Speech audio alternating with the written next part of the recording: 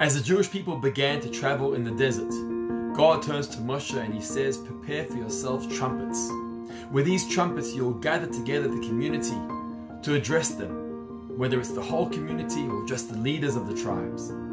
He says the words Asay lecha, make for yourself. And Rashi, the commentator, points out what he was saying was supply them, provide them yourself, Moshe Rabbeinu. Don't expect the community to provide them but rather you should provide them. But why? Ultimately, Moshe was the leader of the community. So why was God so particular that these trumpets could not come from the community, but rather had to be supplied by Moshe himself? Well, here we have an important lesson in leadership.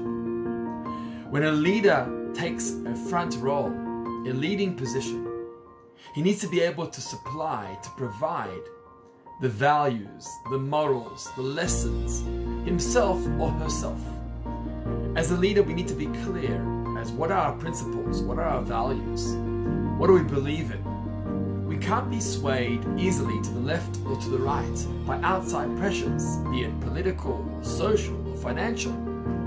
But as a leader, we need to be clear in our own minds what we stand for.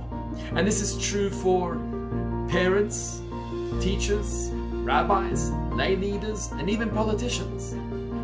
We need to be clear to be able to provide to the table my own value set, my value system, and by those values to be able to lead those people that we need. And that was alluded to by Moshe. Moshe, provide for yourself those trumpets. Don't expect anybody else to deliver, to provide for you. As a leader, provide for yourself, and thereby you'll be successful in leading the community. 小白知道。